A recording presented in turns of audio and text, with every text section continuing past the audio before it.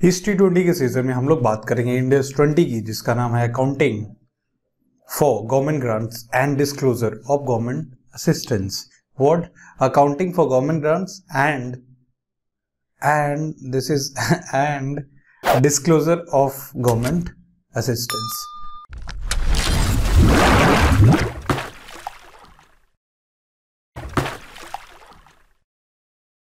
so so, आप सभी future chartered accountants का आपके यूट्यूब चैनल पे स्वागत है। इसका नाम है क्लियर सी एग्ज़ाम्स और हम लोग बात करेंगे आज इंडेस ट्वेंटी की।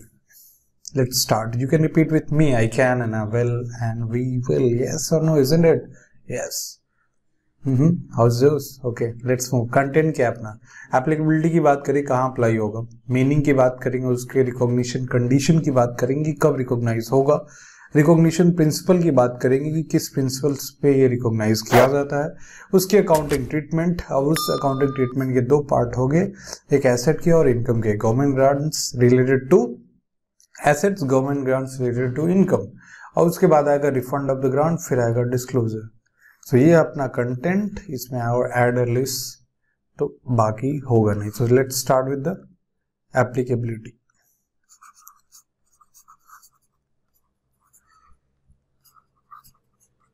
applicability के पहले हम मीनिंग समझ लें कि गवर्नमेंट ग्रांट है क्या और गवर्नमेंट असिस्टेंस है क्या। सबसे पहली बात, अगर आपको गवर्नमेंट ग्रांट समझना है तो पहले क्या समझना होगा?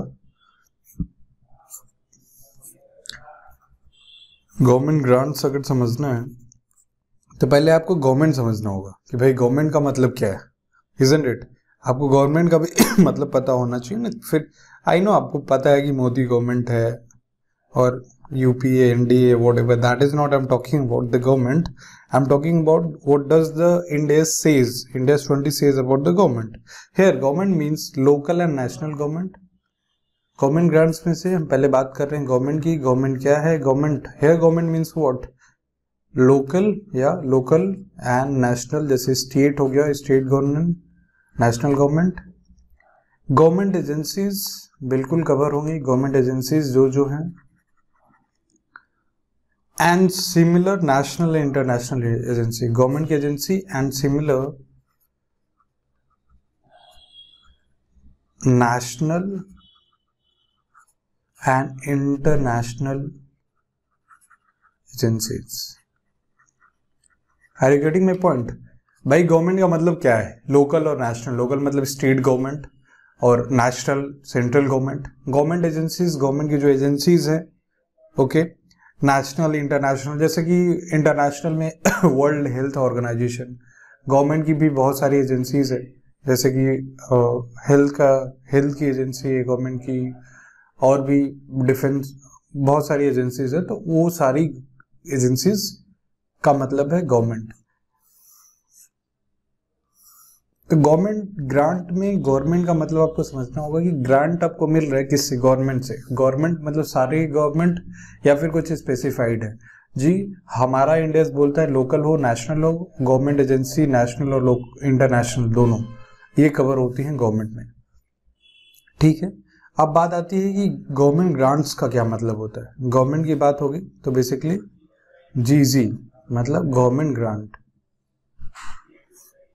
अब गवर्नमेंट ग्रांट का मतलब है कि असिस्टेंस बाय गवर्नमेंट कोई भी आपको सहायता दी जाती है गवर्नमेंट के द्वारा what assistance we can call assistance ज़्यादा ही डार्क हो गया असिस्टेंस बाय गवर्नमेंट गवर्नमेंट के द्वारा दी गई मदद, गवर्नमेंट के द्वारा दी गई मदद किसको? It is given to entity given to entity entity को दी गई मदद। गवर्नमेंट द्वारा असिस्टेंस दिया गया, सहायता दी गई किसको? एंटिटी को। मैं गवर्नमेंट ग्रांट की बात कर रहा हूँ तो उसमें असिस्टेंस दे रहा है गवर्नमेंट किसको? एक एंटिटी को। इन रिटर्न ऑफ़ उसके बदले में वो कुछ लेगा। In return of for part of future I am sorry past और कंप्लायंसेस ऑफ़ कंडीशंस बिना किसी कंडीशन के तो आपको मिलने वाला है। नहीं condition relating to the operation of entity ये अपना इन डेज़ बोलता है।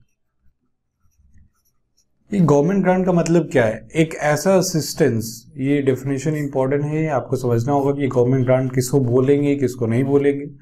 So assistance by government where the assistance is given by whom it is given by government अगर आपको सपोज़ करो सेंट्रल गवर्नमेंट आपको कोई असिस्टेंस देती है, सहायता देती है, और आप एक एंटिटी हो, और उसके रिटर्न में आप पास्ट या फ्यूचर की कोई कंप्लायंसेस कंडीशंस को फुलफिल करते हो, ठीक है?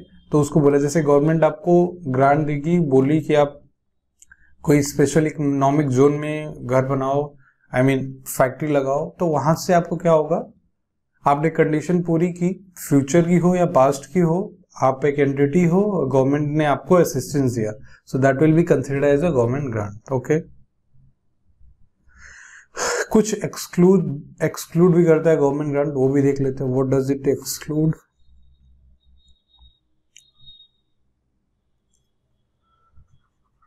government grants excludes or does not include. बात एक ही। है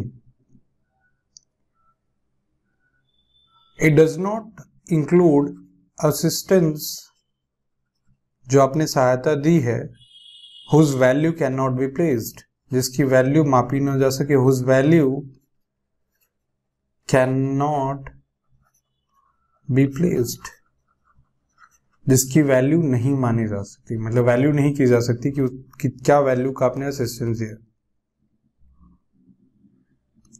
और any transaction which are in course of normal in course of normal sorry in course of what happened? In course of normal, ये थोड़ा सा हो गया। ट्रेडिंग ऑफ़ एंटिटी मतलब आप, आपको कोई गवर्नमेंट ग्रांट मिला है, कोई असिस्टेंस मिली जिसकी value can not be defined जिसकी वैल्यू नहीं मापी जा सकी। जैसे आपने बोले ना अभी any assistance by government given to entity अब यहाँ पे पहली कंडीशन पिट जाएगी कि असिस्टेंस की वैल्यू आपको मालूम नहीं है। So if this if the value is not value can not be place so that will not be part of the government government grant उस गवर्नमेंट ग्रांट का पार्ट नहीं होगा। और ऐसे transaction which are normal in course of the business मतलब आप कुछ normal trading कर रहे हो, आप एक ऑर्गेनाइजेशन ऑफ़ गवर्नमेंट से कोई नॉर्मल ट्रेडिंग कर रहे हो नॉर्मल बिज़नेस कर रहे हो so that is also not part of the government grant okay what we can call in other language government grants को हम लोग और भी बहुत सारे नामों से जानते हैं, वो भी समझ लीजिए। Government grants may also be called what subsidy जैसे आपको कोई सब्सिडी मिल गई आप कोई कैपिटल एसेट खरीदने के। ड्यूटी आपने पे की थी ड्यूटी ड्रॉबैक हो गई। मतलब आपको जितना टैक्स आपने पे किया था उतना आपको रिटर्न बैक मिल गया। सबवेंशन कोई छूट आपको मिली है।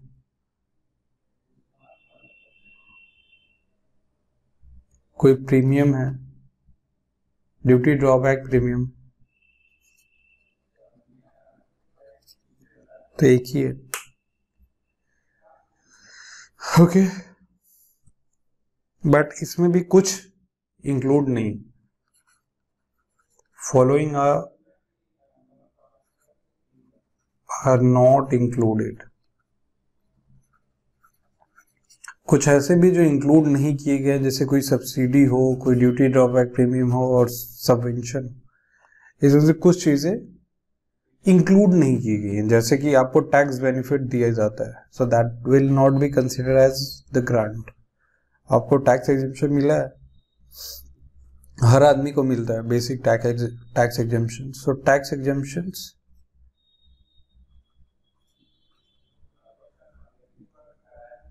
इसको हम लोग ग्रांट नहीं मानते हैं although it is somewhat subsidy infrastructure development का कोई काम हुआ that will also not part of the your government grants कोई government grants for biological assets और एग्रीकल्चर प्रोड्यूस के लिए दिया गया तो ये इंडेस ट्वेंटी डील नहीं करता। उसके लिए आपको स्पेसिफिक इंडेस है इंडेस फोर्टी वन जो हमने अभी प्रीवियस इंडेस एग्रीकल्चर वाला पढ़ा था। ओके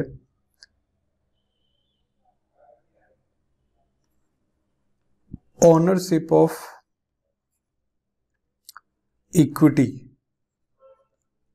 एक एंटिटी में आपको ऑनरशिप मिला। So that is also not part of the government grants मैं एक बार रिपीट कर देता हूँ कि गवर्नमेंट ग्रांट्स का क्या मतलब है और क्या इंक्लूड है, क्या एक्सक्लूड है।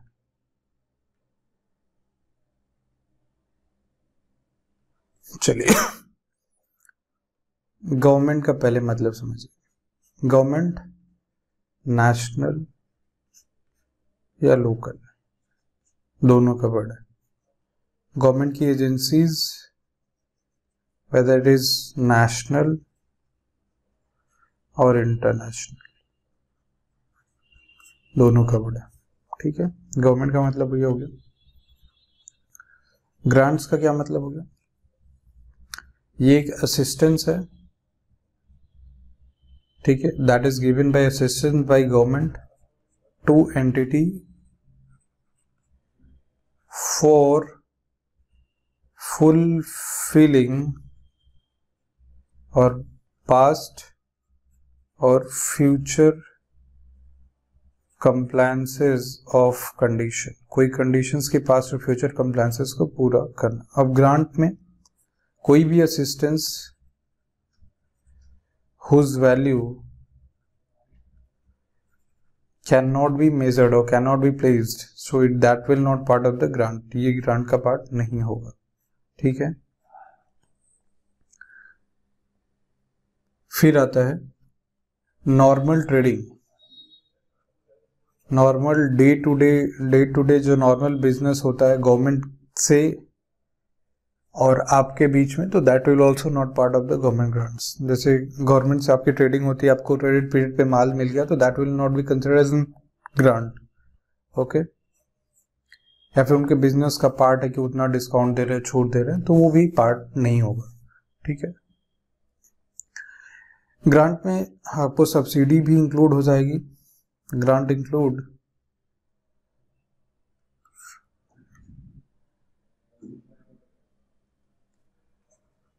ग्रांट्स में आपको सब्सिडी भी माना जाता है। ड्यूटी ड्रॉबैक सबवेंशन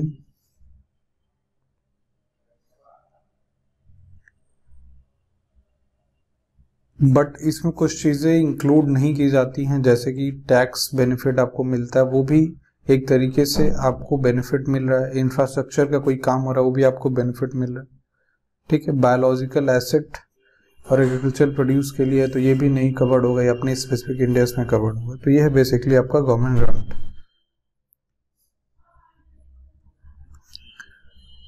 ये हो गई गवर्नमेंट ग्रांट की मीनिंग और एप्लीकेबल किस पे है? एप्लीकेबल है बेसिकली देखिए। जब भी कोई एंटिटी को गवर्नमेंट आपको मतलब पता है ग्रांट का मतलब पता ही है, मिलती है तो उस एंटिटी पे इंडेस ट्वेंटी एप्लीकेबल हो जाएगा। ठीक है? मतलब वो एंटिटी गवर्नमेंट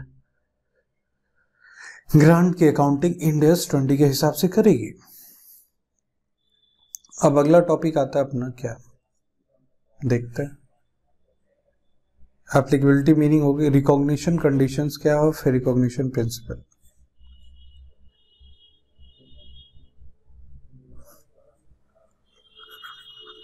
रिकॉग्निशन कंडीशन क्या है रिकॉग्निशन कंडीशन किन कंडीशन में आप रिकॉग्नाइज करोगे। देखिए, दो कंडीशन है और दोनों में रीजनेबल एश्योरेंस होना चाहिए।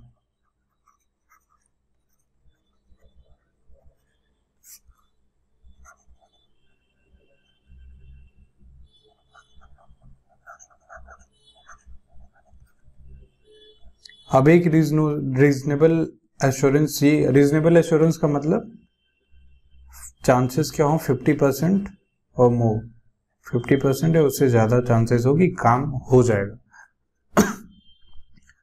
एक रीजनेबल एश्योरेंस कि कंडीशंस आप सेटिस्फाई कर दोगे। जो भी कंडीशंस है, उसको आप कंप्लाई कर दोगे। और दूसरा, कि आपको गवर्नमेंट से ग्रांट मिल जाएगा। जी हाँ। गवर्नमेंट के पास पैसा नहीं रहा, आप रिकॉग्नाइज नहीं कर सकते। गवर्नमेंट पैसा देगा या नहीं देगा, उसकी प्रॉबिलिटी भी देखी जाएगी। दो कंडीशंस है जो फुलफिल होंगी, तभी आप उसको रिकॉग्नाइज कर पाओगे। ठीक है? और गवर्नमेंट ग्रांट्स कैसे हो सकते हैं? Government grants can be in cash can be in kind और can be in reduction of liability condition क्या है भाई साहब रीजनेबल एश्योरेंस होना चाहिए। कब हम रिकॉग्नाइज करेंगे जब ये दो कंडीशन फुलफिल हो? कि रीजनेबल एश्योरेंस ये रहे कि आप जो कंडीशंस को कंप्लाई कर लोगे, और दूसरा रिजनेबल एश्योरेंस ये होना चाहिए कि गवर्नमेंट द्वारा आपको ग्रांट मिल जाएगा। मतलब चांसेस है पैसा मिलने के। ठीक है? अब ये किस तरीके से आपको पैसा मिल सकता है? It can be in cash government grants can be in cash kind reduction of any liability government की जो भी लाइबिलिटी वो आपको रिड्यूस कर देगा, बोलेगा एक ग्रांट है तो वो भी हो सकता है, ठीक है? तो ये रिकॉग्निशन कंडीशन है, इसको फुलफिल करने के बाद ही आप कोई भी चीज़ को रिकॉग्नाइज कर पाओगे अपने बुक में। फिर बात आती है रिकॉग्निशन प्रिंसिपल की। क्या है recognition principal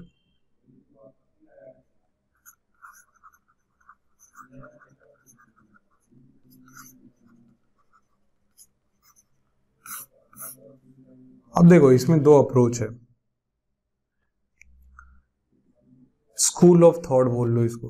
There are two school of thoughts मतलब विचारधारा।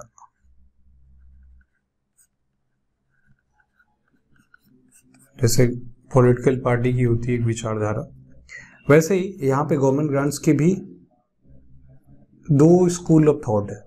लेकिन हमारा इंडेक्स जो बोलता है, हम उसको पढ़ेंगे और जो नहीं बोलता है, उसको भी पढ़ेंगे। ऐसे में बता देता एक है कैपिटल अप्रोच। और एक है रिवेन्यू और इनकम अप्रोच रिवेन्यू और इनकम अप्रोच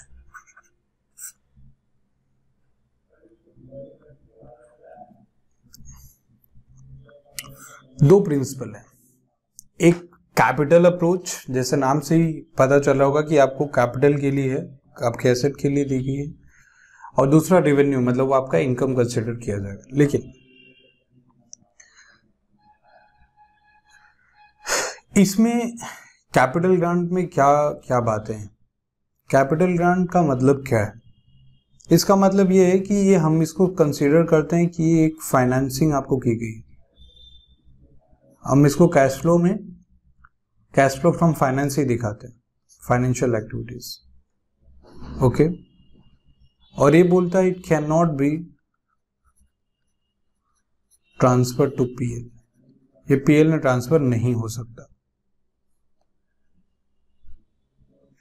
अब ऐसा, ये इसका रीजन क्या है? लॉजिक क्या है? ऐसा क्यों ये विचारधारा ऐसी बोलती है या फिर ऐसा बोलता है? इनका कहने का मतलब है कि ये अर्नड नहीं है। Capital government grants are not earned ये आपको मिला है तो that will be consider as a finance वो आपकी इनकम नहीं हो सकती। आपने कमाया नहीं है उसको। ये इनका थॉट है। ये बोलते हैं कि आपको फाइनेंसिंग एक्टिविटी के लिए मिला आप कैश फ्लो में फाइनेंस में दिखाते हो तो आप फाइनेंशियल एक्टिविटी में दिखाते हो एफ़ में तो ये आपका इनकम नहीं हो सकता। ये आपका कैपिटल ही है, आपको कैपिटल की तरह ट्रीट करना पड़ेगा। आप इसको इनकम नहीं दिखा सकते, ठीक है? अब आते हैं दूसरे थॉट के पास रेवेन्यू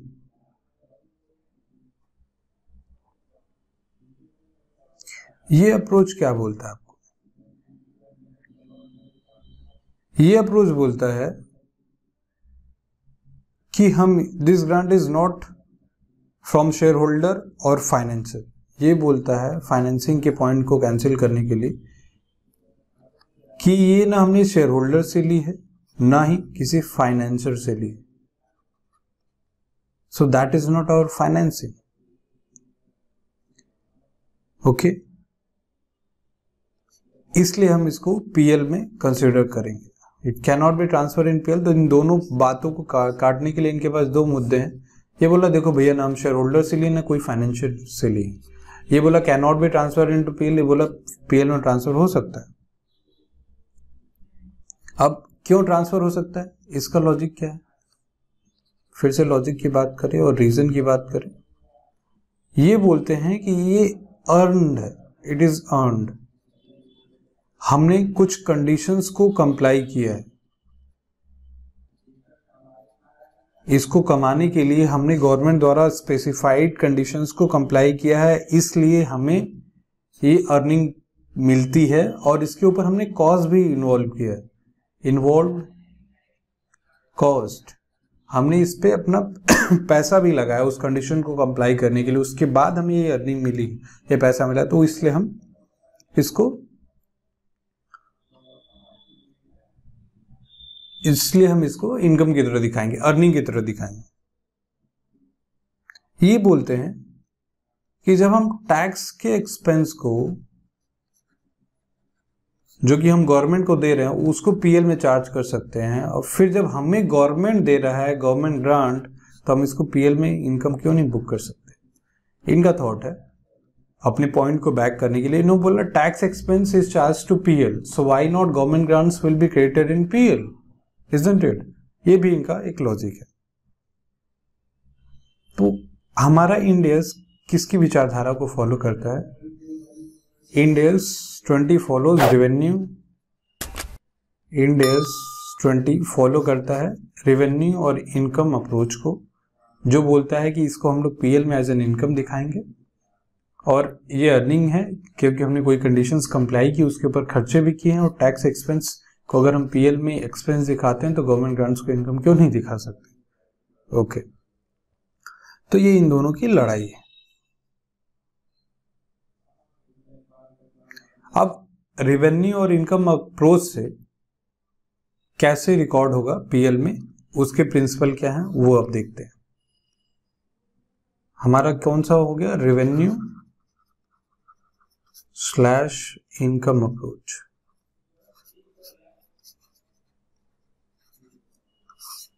revenue और इनकम अप्रोच इस अप्रोच में ये बोल रहा है कि गवर्नमेंट ग्रांट्स को हम रिकॉग्नाइज करेंगे government grants will be recognised कहाँ पे? In PNL it will be recognise in the PNL in systematic एक सिस्टमेटिक बेसिस से ठीक है? और वो क्या है? सिस्टमेटिक बेसिस बोलता है over a period of compliance conditions जितना दिन में जितने हिसाब से आप कंप्लाई करोगे, उसके बेसिस पे आपको गवर्नमेंट ग्रांट्स को आप पीएल में रिकॉग्नाइज कर सकते हो। बहुत ही इंपॉर्टेंट लाइन बोल रहा है कि जितना आप कंडीशन जिस रेशियो में कंप्लाई करो सपोज़ करो, आपको एक हज़ार करोड़ की कंडीशन को कंप्लाई करना है कॉस्ट उसकी एक हज़ार करोड़ है। आप एक साल में सौ करोड़ की कंप्लाई करो तो सौ करोड़ आप उसको गवर्नमेंट अगर आपको हज़ार करोड़ दे देती है तो हज़ार करोड़ में से सौ करोड़ आपको इनकम बुक करना पड़ेगा ओके रेशियो क्या होगा? In ratio of cost of compliance, जैसे मैंने बताया अभी, cost of compliance. Government grants को पीएल में रिकॉग्नाइज कर सकते हो। रिकॉग्निशन प्रिंसिपल जो कि रेवेन्यू और इनकम अप्रोच का है, वो बोलता है कि आप सिस्टमेटिक बेसिस पे पीएल में रिकॉग्नाइज करो। कोई दिक्कत नहीं किस बेसिस पे करोगे? मतलब कैसे उसको over the period of time record करोगे? In ratio of cost to compliance अब एक हज़ार किसी भी प्रोजेक्ट की कॉस्ट है आप हज़ार में से सौ सौ करोड़ हर साल लगाते हो और गवर्नमेंट से ग्रांट भी आपको थाउज़ेंड मिला है। तो हंड्रेड हंड्रेड करके हंड्रेड इनकम दिखाओगे हर साल तो एक्सपेंस राइट ऑफ़ होता रहेगा, ना इनकम होगी, ना एक्सपेंस होगा। ठीक है? क्लियर है? चलिए।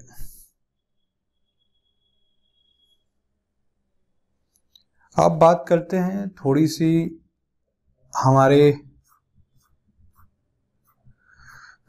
इंडियस में दो पॉइंट है, जैसे गवर्नमेंट ग्रांट है और गवर्नमेंट असिस्टेंस है। तो आपको ये डिफरेंस भी पता होना चाहिए कि गवर्नमेंट ग्रांट और गवर्नमेंट असिस्टेंस में डिफरेंस क्या है। जैसे हमने पहले भी बताया है, ये गवर्नमेंट असिस्टेंस में आपको वैल्यूज़ मेजर नहीं कर सकते आप तो गवर्नमेंट ग्रांट में नहीं आती। तो अगर डिफरेंस देखा जाए गवर्नमेंट ग्रांट की बात करें और गवर्नमेंट असिस्टेंस की।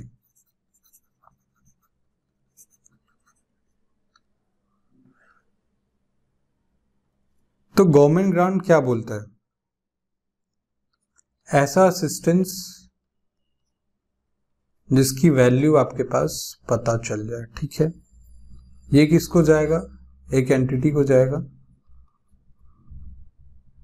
इन रिटर्न ऑफ़ इसके बदले में वो क्या करेगा? इन रिटर्न ऑफ़ कंडीशंस को कंप्लाई कराएगा। ठीक है? और वही बात असिस्टेंस की रही तो असिस्टेंस में इसकी value can not be measured इसकी वैल्यू आप नहीं माप सकते। ठीक है? ये भी एंटिटी को दी जाएगी कंडीशंस को कंप्लाई करने के लिए। लेकिन जब इसकी वैल्यू को आप नहीं मान सकते तो ये ओनली डिस्क्लोजर पर्पज के लिए यूज़ होगा। ओनली डिस्क्लोजर इज़ रिक्वायर्ड इसीलिए हमारे इंडेस ट्वेंटी का नाम है। Accounting for government grants and disclosure of government assistance so disclosure purpose तो यही हो गया गवर्नमेंट असिस्टेंस ऐसा असिस्टेंस जिसकी value can not be measured although it will be given to entity it will be in return of conditions but इसकी value measure नहीं की जा सकती तो बस इसके डिस्क्लोजर किए जा सकते हैं। तो government grant accounting for government grant and disclosure of government assistance में डिस्क्लोजर ऑफ़ गवर्नमेंट असिस्टेंस तो बस एक लाइन में खत्म हो जाता है। लेकिन अकाउंटिंग फॉर गवर्नमेंट ग्रांट अभी भी बाकी है, जिसमें हमने बात कर ली, उसकी मीनिंग एप्लीबिलिटी और रिकॉग्निशन कंडीशन और रिकॉग्निशन प्रिंसिपल की। अब बात करेंगे इसके अकाउंटिंग ट्रीटमेंट की। अकाउंटिंग ट्रीटमेंट में क्या बात करेंगे अपने? अकाउंटिंग ट्रीटमेंट अकाउंटिंग ट्रीटमेंट से पहले आपको ये पता चलना चाहिए कि गवर्नमेंट ग्रांट्स दो टाइप के होते हैं। एक गवर्नमेंट ग्रांट जो कि एसेट्स के लिए दिया जाता है और एक गवर्नमेंट ग्रांट जो कि रिलेटेड रहता है इनकम से। वो एक इनकम रहता है। कोई एसेट के लिए नहीं होता, वो एक इनकम के लिए रहता है। ठीक है? तो पहले आपको ये समझना होगा कि गवर्नमेंट ग्रांट टू एसेट का क्या मतलब है? और पहले अभी हम इसी का बात करेंगे तो अकाउंटिंग ट्रीटमेंट में हमारा पहला टॉपिक क्या रहेगा? Government grant G R A to asset government grant to asset इसका फुल फॉर्म है जी आर आई ठीक है? तो अपने कंटेंट पे आपने देखा होगा अकाउंटिंग ट्रीटमेंट में हमने दो पार्ट किए हैं, एक गवर्नमेंट ग्रांट टू एसेट और टू इनकम तो चलिए जीआरए की अकाउंटिंग ट्रीटमेंट देखते हैं, क्या होती है। उसके पहले हमें जीआरए को समझना पड़ेगा कि जीआरए है क्या।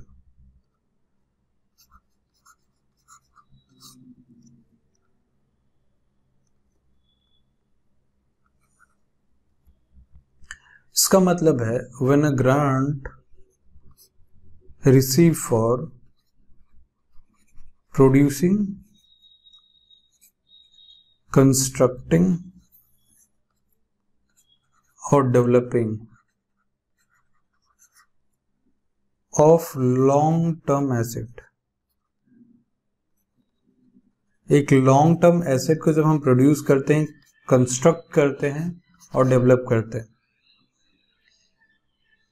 और वो लॉन्ग टर्म में एसेट डेप्रिसिएबल हो सकता है और नॉन डेप्रिसिएबल भी हो सकता है। और नॉन डेप्रिशिएबल में आप लैंड लिख सकते हो long depreciable non depreciable asset भी हो सकता है। आप समझ रहे हो? जीआरए मतलब ऐसा ग्रांट जो प्रोड्यूस ऐसा ग्रांट जो प्रोड्यूस करता हो। कंस्ट्रक्ट करता हो डेवलप करता हो एक long term asset long term मतलब लंबी अवधि के लिए जो एसेट यूज़ में हो, और वो डेप्रिशिएबल भी हो सकता है और नॉन डेप्रिशिएबल भी हो सकता है। नॉन डेप्रिशिएबल का एग्जांपल लैंड और इसका एग्जांपल सपोज़ बिल्डिंग ठीक है?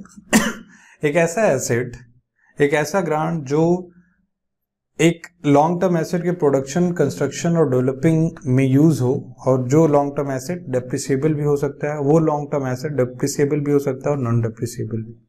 तो उसको बोलते हैं government grant related to assets that is G R A अब उसकी अकाउंटिंग की बात करते हैं।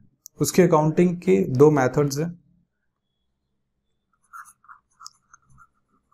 अकाउंटिंग फॉर गवर्नमेंट ग्रांट्स इसके दो मेथड है।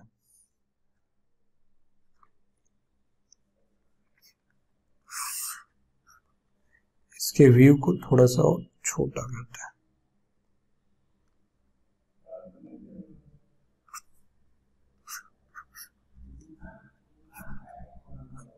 ये है मेथड वन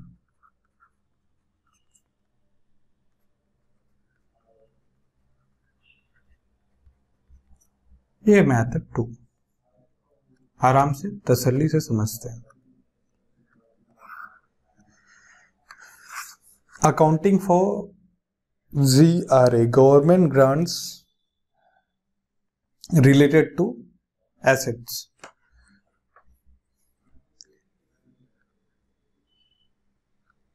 method one बोलता है कि आप गवर्नमेंट ग्रांट्स को रिकॉर्ड कर सकते हो as deferred grant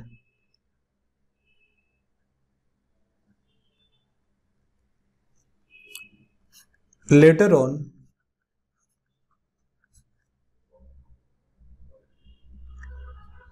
deferred grant को ट्रांसफ़र कर सकते हो पीएनएल में.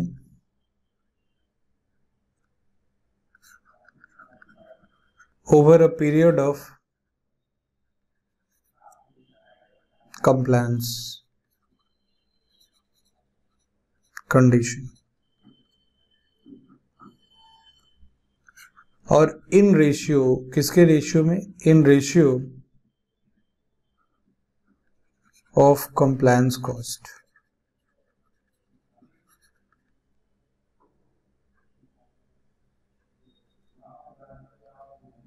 method one बोलता है कि आपको गवर्नमेंट ग्रांट मिला, सपोज़ करिए थाउज़ेंड करोड़ उसको रिकॉर्ड करिए bank account debit to deferred grant defer grant को आप लेटर क्या करिए?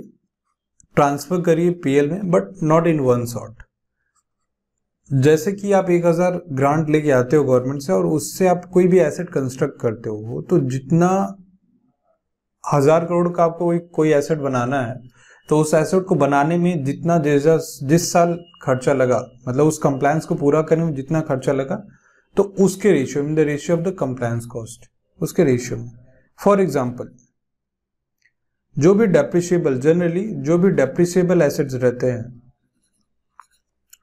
जो भी डेप्रिशिएबल एसेट्स रहते हैं एक्सेप्ट लैंड जो हमने बोली डेप्रिशिएबल एसेट्स उनकी डेप्रिशिएशन ही, उनकी depreciation depreciable generally depreciate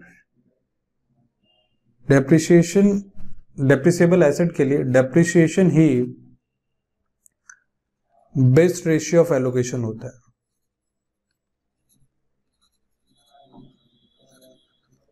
कैसे? आप कोई एक हज़ार की एसेट बनाते हो और उसकी यूजफुल लाइफ टेन ईयर है तो आप क्या किए? उसको टेन ईयर्स में डेप्रिशिएट किए। तो जिस रेशियो में आपने डेप्रिशिएट किया that is what is cost of compliance generally उसको कॉस्ट ऑफ़ कंप्लायंस बोला जाता है कि आप जितना डेप्रिशिएट करते हो, एक हज़ार की एसेट अगर एक हज़ार की आपने बिल्डिंग खरीद ली और उसको दस साल में डेप्रिशिएट कर रहे हो मतलब गवर्नमेंट ग्रांट से आपने पैसा लिया थाउज़ेंड करोड़ और एक डेप्रिसिएबल एसेट खरीदा। उस डेप्रिसिएबल एसेट को आपने क्या किया? हर साल डेप्रिशिएट कर रहे हो। मतलब उतना उतना खर्चा बुक कर रहे हो हर साल। तो उसी रेशियो में आपको गवर्नमेंट ग्रांट को भी डेफर्ड ग्रांट बोल के फिर उसको ट्रांसफ़र करना पड़ेगा पीएनएल में उसी रेशियो में। In the ratio of depreciation generally ठीक है? इजी है, कोई दिक्कत नहीं है। भाई, पैसा मिला डेफर गार्ड में डाल दो। और जैसे जैसे कॉस्ट ऑफ़ कंप्लायंस पूरा होता है, जैसे कि जैसे डेप्रिशिएशन के केस में डेप्रिशिएबल एसेट के केस में जितना जितना डेप्रिशिएशन लगेगा, उतना उतना हम ट्रांसफ़र करते जाएँगे पीएनएल ये अपना मेथड वन हमें रिकमेंड करता है।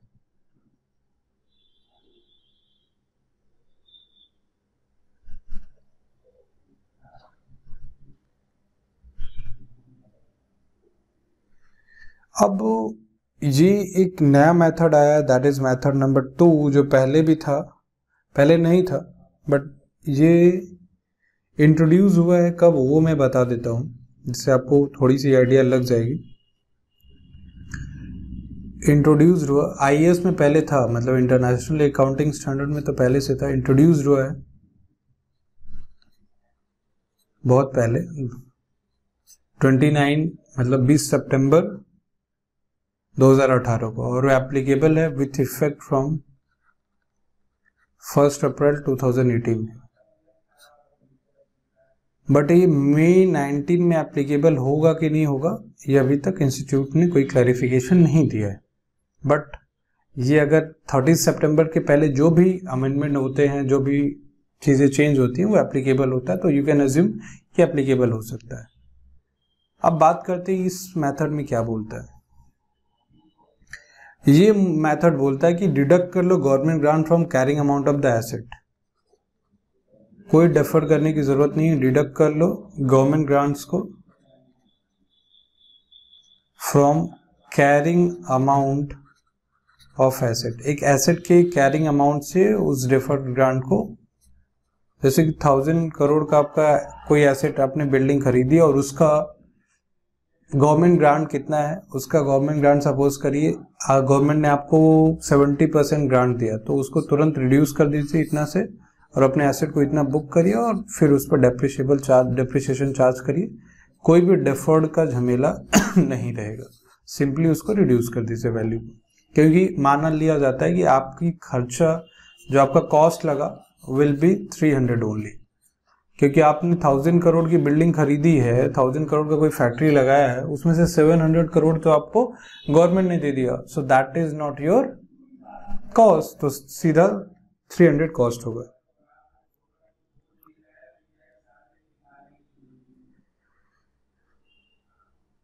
ओके क्लियर है?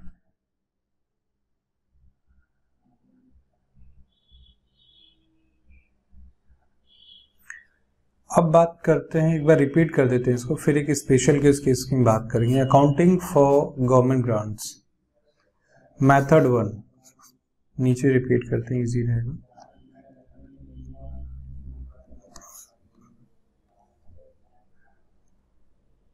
मेथड वन क्या बोलता है? ग्रांट मिला, उसको डेफर कर दो। ग्रांट मिला, उसको डेफर कर दो। डेफर ग्रांट करके ट्रांसफ़र करो। पीएनएल में। रेशियो क्या होगा? किस रेशियो में? तो कॉस्ट ऑफ़ कंप्लायंस सिंपल और ये रेशियो जनरली डेप्रिसिएशन जिस रेशियो में चार्ज होता है डेप्रिसिएबल एसेट्स पे जनरली ये डेप्रिसिएशन का रेशियो रहता है। ये क्या बोलता है कि कॉस्ट से लेस कर दो। लेस कर दो कॉस्ट सीधा। और उसका डेप्रिसिएशन नए कैरिंग अमाउंट पे चार्ज करो और वो मे भी रिड्यूस हो जाए। थाउज़ेंड का आपने ऐसे बिल्डिंग लिया फैक्ट्री लिया, उसमें सेवन हंड्रेड ग्रांट है तो थ्री हंड्रेड पे आपकी वैल्यू बिल्डिंग की या फैक्ट्री की आएगी और इसके ऊपर आप नया डेप्रिसिएशन चार्ज करोगे। सो दो मेथड है इसकी अकाउंटिंग की। ठीक है, ये वाला न्यू है। इंटरनेशनल अकाउंटिंग स्टैंड में पहले था, लेकिन अभी हमारे यहाँ पे भी आ गया और जो कि फेयर इनफ है। लेकिन इंस्टीट्यूट के क्वेश्चन अभी इसके अकॉर्डिंगली फ्रेम नहीं है। तो उसके ऊपर बाद में बात करेंगे।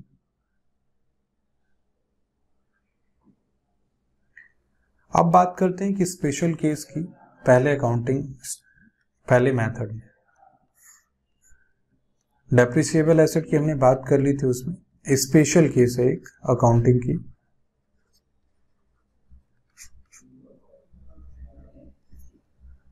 अगर आपको गवर्नमेंट ग्रांट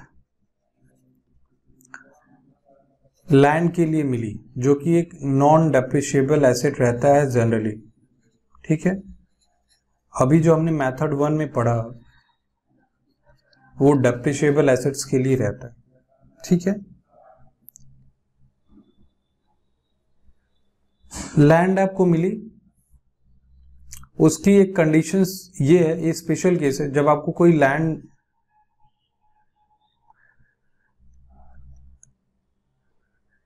आपको कोई गवर्नमेंट लैंड देती है और उस पर बोलती है कि आप इस पर बिल्डिंग कंस्ट्रक्ट करो। कंडीशन क्या रहती है? कि आपको हमने ज़मीन दे दी, आप यहाँ पे फैक्ट्री लगाओ बिल्डिंग लगाओ मतलब बिल्डिंग कंस्ट्रक्ट करो। तो इस स्पेशल केस में क्या होगा? सपोज़ करिए आपको गवर्नमेंट ने बोला कि आपको पैसा का छूट हम नहीं दे रहे आपको एक ज़मीन दे दे रहे वहाँ पे अपनी फैक्ट्री लगाइए और काम शुरू करिए। तो उस केस में क्या होगा? उस केस में हमारी क्या अकाउंटिंग होगी? यहाँ पे भी गवर्नमेंट ग्रांट को हम लोग डेफर कर देंगे। बिल्कुल कर देंगे। डेफर गवर्नमेंट ग्रांट बोल के बुक करेंगे। ठीक है? और यहाँ पे डेफर्ड गवर्नमेंट ग्रांट को ट्रांसफ़र कर देंगे पीएनएल में, जैसे हमने पहले किया था, पहला मेथड में। लेकिन यहाँ पे क्वेश्चन ये है कि रेशियो क्या होगा? क्योंकि लैंड का तो कोई डेप्रिसिएशन है नहीं, कि हम डेप्रिसिएशन के रेशियो में रेशियो ऑफ़ डेप्रिसिएशन या रेशियो ऑफ़ कॉस्ट में हम लोग एनालाइज कर दें। ये क्या बोलता है special case although it is non depreciable land से रिलेटेड है, लेकिन हम लोग इसको जो डेफर करेंगे, वो बिल्डिंग के यूजफुल लाइफ में करेंगे। ये यहाँ पे important line over useful life of building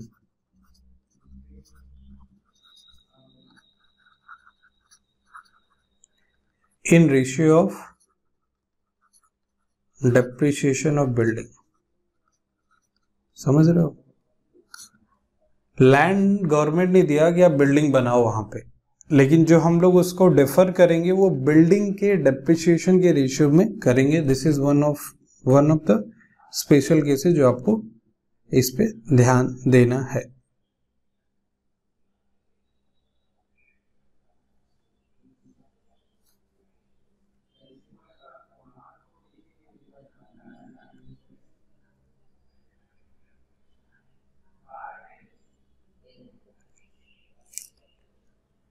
ठीक है। मेथड टू में अगर आपको गवर्नमेंट ग्रांट मिलता है, जिसमें आप डिडक्ट कर लेते हो गवर्नमेंट ग्रांट को सीधा एसेट से तो वो कैश फ्लो में आप कैसे प्रेजेंट करोगे? कैश फ्लो में उसको नेट नहीं करोगे। कैश फ्लो में उसका प्रेजेंटेशन होगा ग्रांट रिसीव्ड फाइनेंसिंग में जाएगा। और एसेट एक्वायर्ड इन्वेस्टिंग में जाएगा। इसको आप नेट ऑफ़ करके ज़ीरो नहीं दिखा सकते, आपको अलग अलग इसको शो करना पड़ेगा। अब हो क्या रहा है? सपोज़ कि थाउज़ेंड का आपने खरीदा और थाउज़ेंड का ग्रांट भी मिल गया तो आप बोले क्या रिकॉर्ड करने की ज़रूरत है? लेकिन आपको रिकॉर्ड करना पड़ेगा ग्रांट रिसीव फाइनेंसिंग में दिखाना पड़ेगा और एसेट एक्वायर्ड आपको इन्वेस्टिंग में दिखाना पड़ेगा। इन्वेस्टिंग एक्टिविटीज़ और फाइनेंसिंग एक्टिविटीज़ रेस्पेक्टिवली बहुत इजी है, अगर एक लाइन में कंक्लूड कर दिया जाए तो पहले केस में डिफर हो जाता है और दूसरे केस में भाई साहब एसेट से रिड्यूस हो जाता है, और कुछ नहीं है। जीआरई की अकाउंटिंग खत्म हो गई। अब डेफर किस रेशियो में होता है? डेप्रिशिएशन के रेशियो में होता है, ज़्यादातर।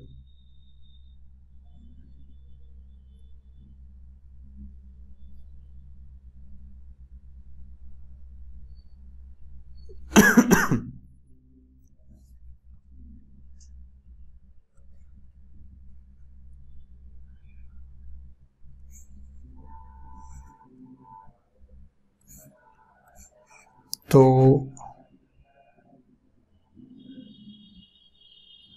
चलिए मिलते हैं आपसे अगली वीडियो में, तब तक के लिए आप सभी का अभी हमारा क्या बचा है इसमें? टाइम कितना हो गया? बहुत हो गया।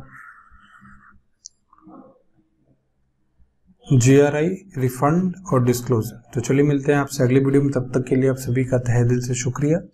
मैं एक बार पूरा रिपीट कर देता हूँ यहाँ पे, अभी तक का जो कंडीशन है। कलर चूज़ कर लेते हैं। एप्लीकेबल किस पे होगा? गवर्नमेंट ग्रांट जब किसी भी एंटिटी को मिलता है तो उस एंटिटी पे इंडेस ट्वेंटी एप्लीकेबल होगा। मीनिंग इंडेस इस पे एप्लीकेबल है। गवर्नमेंट का मतलब क्या है? गवर्नमेंट का मतलब लोकल और नेशनल गवर्नमेंट एजेंसीज नेशनल हो सकती हैं और इंटरनेशनल भी। ग्रांट का मतलब आपको कोई भी असिस्टेंस गवर्नमेंट के द्वारा दी गई हो, वो आप एंटिटी हो, वो आप पास्ट और फ्यूचर कोई कंडीशन को कंप्लाई करती हो। गवर्नमेंट असिस्टेंस में क्या होता है? आपको कोई असिस्टेंस मिली जिसकी value whose values can not be determined उस केस में आपको बस डिस्क्लोजर की ज़रूरत पड़ती है तो ये हो गई आपकी मीनिंग दोनों की। रिकॉग्निशन कंडीशन दो रिकॉग्निशन कंडीशन है, जिसमें दोनों में रीजनेबल एश्योरेंस आपको मिलता है कि आप कंडीशंस को कंप्लाई कर दोगे और आपको ग्रांट रिसीव हो जाएगा। तो इन दोनों कंडीशंस को कंप्लाई करने के बाद आप रिकॉग्नाइज करने के बारे में सोचते हो। रिकॉग्निशन प्रिंसिपल में दो स्कूल ऑफ़ थॉट्स हैं, पहला है कैपिटल अप्रोच और दूसरा है रेवेन्यू और इनकम अप्रोच कैपिटल अप्रोच बोलता है, ये आपकी फाइनेंसिंग एक्टिविटी है। जबकि ये बोलता, नहीं, ना ये शेयर होल्डर से मिला, ना फाइनेंशियल से मिला। है ये हमारी अर्निंग मानी जाएगी क्योंकि इसको कंप्लाई करने के लिए हमने कंडीशंस में खर्चे भी किए हैं। और जब कोई भी टैक्स एक्सपेंस पीएल में चार्ज हो सकता है तो गवर्नमेंट द्वारा दिए गए बेनिफिट्स को हम लोग इनकम क्यों नहीं दिखा सकते? तो ये मज़बूत केस देखते हुए, मज़बूत नहीं, जो दोनों का अपना अपना नज़रिया है। ठीक है?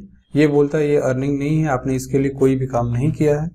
तो हमारा इंडेस ट्वेंटी फॉलो करता है रेवेन्यू और इनकम अप्रोच का ठीक है?